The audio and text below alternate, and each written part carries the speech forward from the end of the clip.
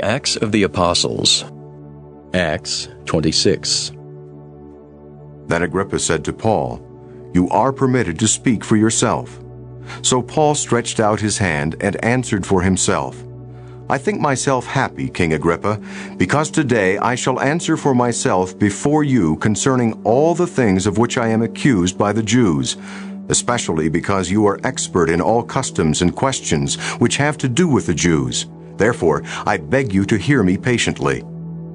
My manner of life from my youth, which was spent from the beginning among my own nation at Jerusalem, all the Jews know. They knew me from the first, if they were willing to testify, that according to the strictest sect of our religion I lived a Pharisee. And now I stand and am judged for the hope of the promise made by God to our fathers. To this promise our twelve tribes earnestly serving God night and day hope to attain. For this hope's sake, King Agrippa, I am accused by the Jews. Why should it be thought incredible by you that God raises the dead? Indeed, I myself thought I must do many things contrary to the name of Jesus of Nazareth. This I also did in Jerusalem, and many of the saints I shut up in prison, having received authority from the chief priests. And when they were put to death, I cast my vote against them. And I punished them often in every synagogue and compelled them to blaspheme, and being exceedingly enraged against them, I persecuted them, even to foreign cities.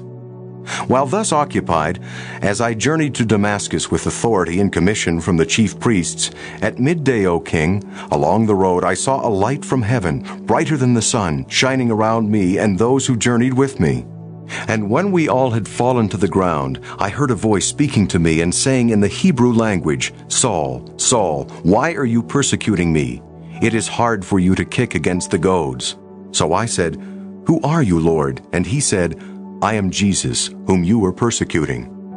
But rise and stand on your feet, for I have appeared to you for this purpose, to make you a minister and a witness both of the things which you have seen and of the things which I will yet reveal to you.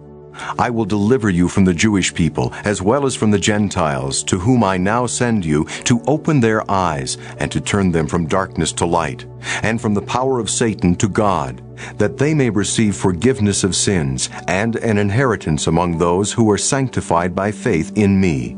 Therefore, King Agrippa, I was not disobedient to the heavenly vision, but declared first to those in Damascus and in Jerusalem, and throughout all the region of Judea, and then to the Gentiles, that they should repent, turn to God, and do works befitting repentance. For these reasons the Jews seized me in the temple and tried to kill me. Therefore, having obtained help from God, to this day I stand witnessing both to small and great, saying no other things than those which the prophets and Moses said would come. That the Christ would suffer, that he would be the first to rise from the dead, and would proclaim light to the Jewish people and to the Gentiles. Now, as he thus made his defense, Festus said with a loud voice, Paul, you are beside yourself. Much learning is driving you mad. But he said, I am not mad, most noble Festus, but speak the words of truth and reason.